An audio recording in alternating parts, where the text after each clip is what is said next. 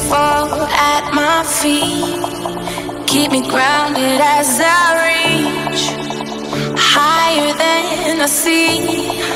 Is there something there for me? Pulling back the reins, letting go again.